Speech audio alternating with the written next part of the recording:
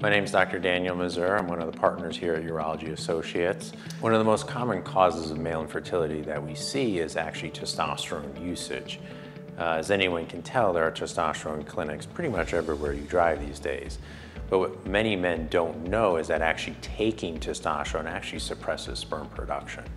Uh, this is one of the most common things we see and one of the biggest areas of help that we can provide to try to restore a man's fertility. Low testosterone is a common issue, and in the appropriate man, testosterone therapy can have some medical benefits.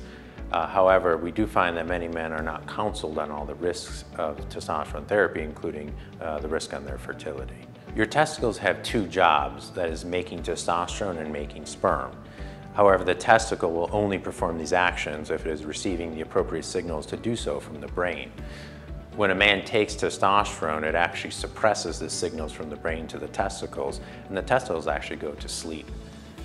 And that can decrease both sperm production and natural testosterone production. While testosterone therapy can have benefits in the male who has low testosterone, obviously there can be some potential side effects and risks. One of these risks includes uh, the effect on a man's fertility. When a man is on testosterone, there are other medications we can use to try to wean him off the testosterone. However, a man should know that it can take several months or more to uh, increase sperm production. Uh, the longer a man has been on testosterone therapy uh, means it can also take longer to reboot sperm production. It's important to see a fertility expert. Uh, sometimes even stopping testosterone, there could be other underlying conditions that could be affecting a man's sperm production.